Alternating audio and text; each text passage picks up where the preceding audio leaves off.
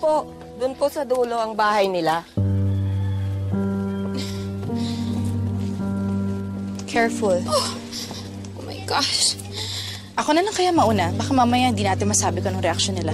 What? No. Kaya ko to. I will win her with my charm. Mrs.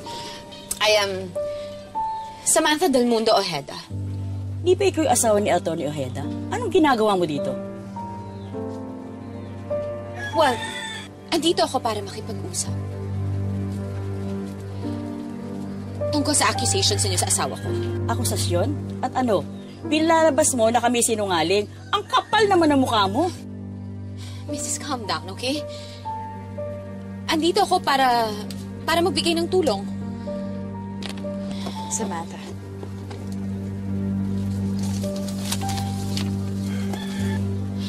Alam ko makakatulong to.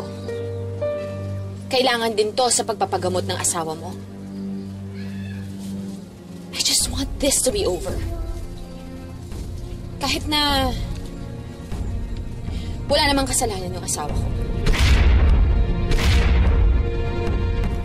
Tama yung asawa ko.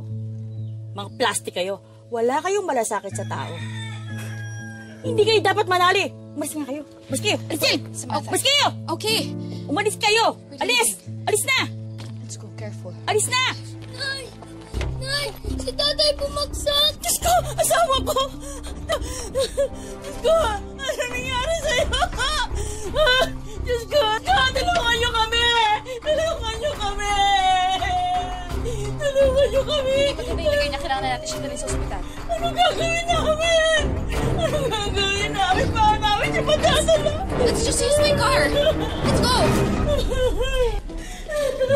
Nurse. Nurse, excuse me. Meron akong pasyenteng kasama. Nasa loob siya ng kotse ko. We need help. Ma'am, sorry po. Puno po kasi ang ospital ngayon. May nagbangga ang bus kanina. Dito po dinala lahat ng biktima. Ang mas mabuti pa po, lipat na lang po kayo ng ospital. Ah, miss. Emergency din yung patient namin. Pasensya na po, ma'am. Wala po kasing doktor talagang titingin sa kanya ngayon. Ano? Yan! Paano yung asawa ko? Excuse me. Hindi mo ba kilala? I am Samantha Del Mundo Ojeda. I am the daughter of Senator Del Mundo. Asa ba yung supervisor ninyo dito?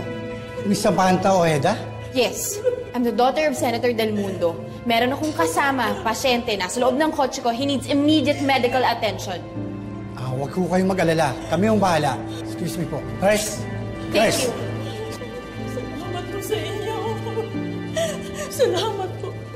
Po sanang humingi ng tao sa iyo na kanina. Pasensya na po kayo. Huwag po kayo mag-alala. Hindi naman din namin yung reaction ninyo kanina. eh. Tama ho. Kay Samantha kayo magpasalamat. Dahil kung di dahil sa kanya, baka mamay na paano na yung asawa ninyo. Salamat po, Ma'am Samantha. Salamat po talaga. Wala nga naman. Ako nang bahala sa medical bill niyo. And kung kailangan niyo pa ng tulong, just let me know. Magbibigay kami ng tulong ng asawa ko. Salamat po. And ganun din sa inyong lahat. Ha? Importante ho ang kalusugan. Kaya kung may kailangan ho kayo, nandun lang ho kami sa may basketball court. Nandun lang po kami ng asawa ko na si Attorney Gael Ojeda para tumulong sa inyo. Ma'am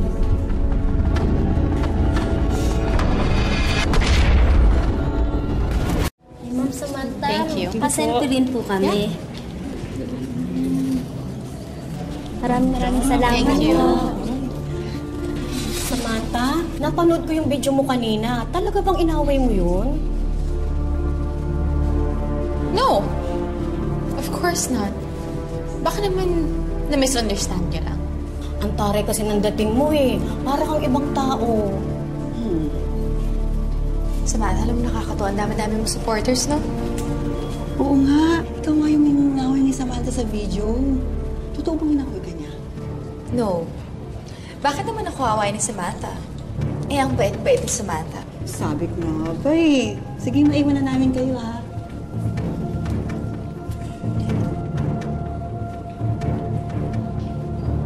Bakit hindi mo sinabing totoo?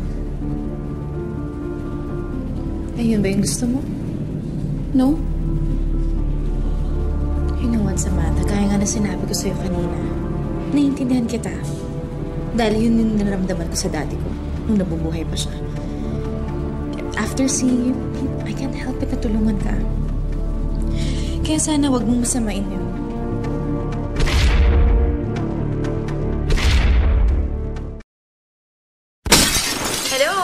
You, thank you so much for watching Asintado. For more videos, subscribe to ABS-CBN Entertainment YouTube channel and click the I button.